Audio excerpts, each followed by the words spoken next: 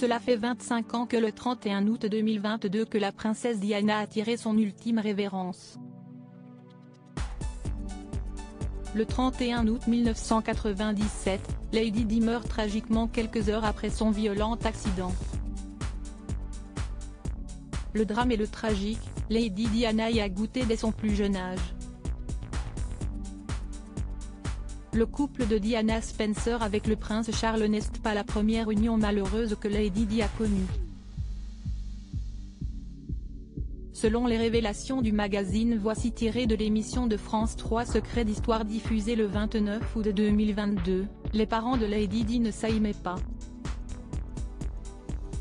Comme l'explique l'émission, le couple Spencer ne s'aimait pas et leur mariage n'était qu'un mariage de convenance.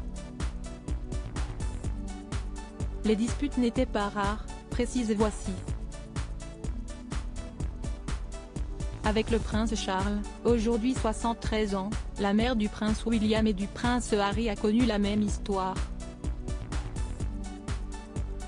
Le 31 août 2022 marque les 25 ans d'anniversaire de la mort tragique de la princesse de Galles, Lady Di.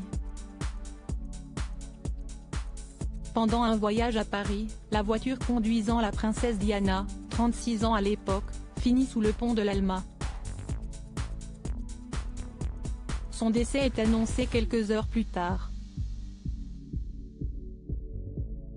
La princesse des cœurs, Lady Di, n'a pas survécu.